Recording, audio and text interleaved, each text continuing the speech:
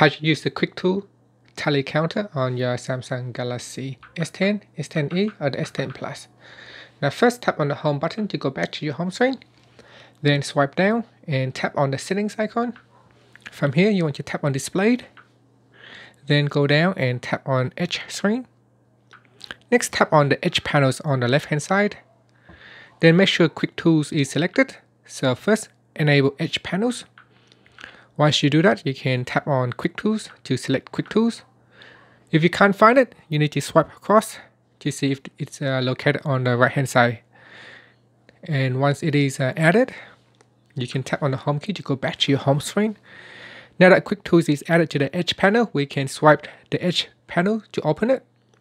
Now you can see here at the moment we are in the Apps Edge, so you can swipe across to access Quick Tools then down here on the right hand side, there are five options. Tap on tally counter. And from here, you can see it's reset back to zero.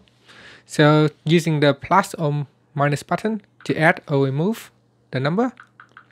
So tapping on add will increase the number by one. And if you tap on the minus button, it will decrease the number by one. You can also use this button here to reset your counter and you can also tap on the goal button at the bottom here to set your goal. Uh, for example, if you want to set the goal to uh, 20, so we choose 20 and then tap on done. Now tap on the plus button here.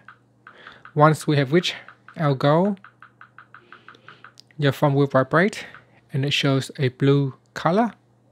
If you keep going, it will uh, show you a red color. That means you have uh, reached over your goal.